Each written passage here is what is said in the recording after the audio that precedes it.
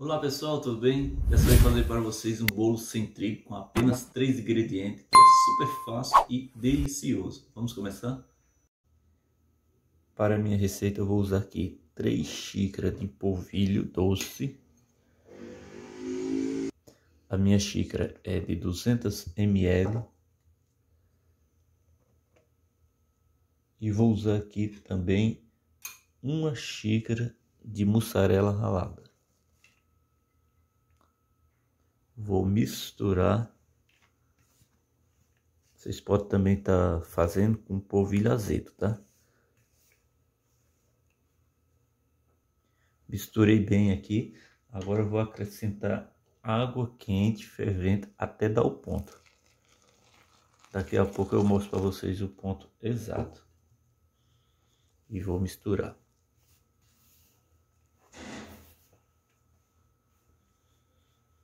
Aproveitando, pedindo para vocês que não são inscritos, se inscrever no meu canal, ativar o sininho para receber as notificações de todos os vídeos que eu postar aqui. Pedindo também para vocês que são inscritos, que assistem o meu canal, os vídeos. Não esqueça de deixar aquele like, aquele joinha para fortalecer o canal, tá bom? Desde já agradeço a todos. Ó, olha só, pessoal, tá quase no ponto. Só vou acrescentar mais um pouco.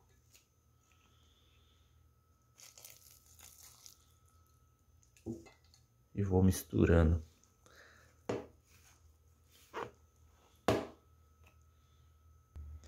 Pessoal, lembrando também que eu adicionei um pouco de sal na água, tá?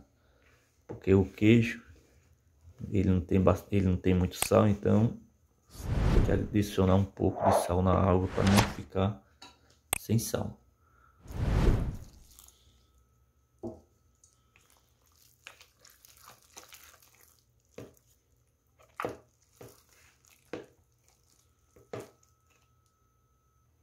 Olha só, pessoal. Fiquei mexendo, tá? Até chegar a esse ponto aqui, ó.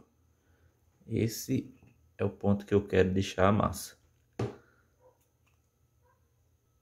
Eu untei e polvilhei a minha forma Vou pôr a massa aqui.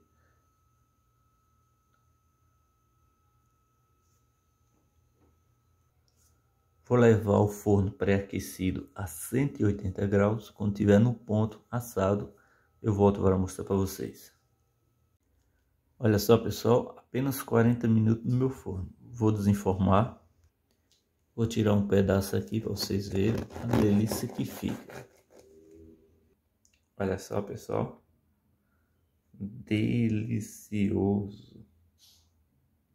Muito bom, pessoal. Pode fazer que vocês vão gostar muito. É isso aí, pessoal. Se vocês gostaram do vídeo, não esquece de dar aquele joinha, se inscreve também no canal, ativa o sininho para receber as notificações de cada vídeo que eu postar. Compartilha também. Tchau, pessoal, e até a próxima.